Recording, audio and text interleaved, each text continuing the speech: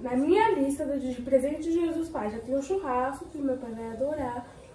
O celular, que é um iPhone 13 Pro Max. Que o celular do meu pai já tá ruimzinho, né? Que é o 11. Ele comprou mês passado já tá horrível. Vou comprar outro pra ele.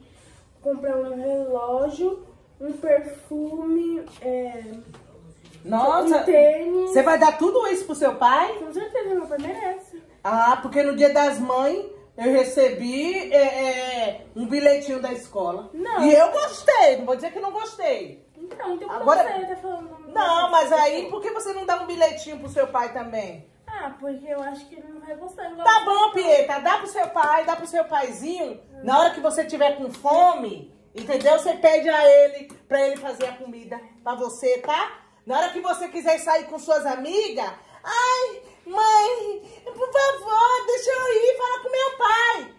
Você vai falar pra ele, não vem pedir pra mim não, porque pra mim é um miserê, é um papel que aí que tem, tem uma pingueira aqui em casa, molhou, já acabou. Agora com seu pai você quer dar celular, churrasco, hã? Mais o quê? É, netbook. É, netbook, só se for netbook mesmo, ó. Tá bom então, fica tranquila. Quando eu morrer, não vem chorar no meu caixão, não.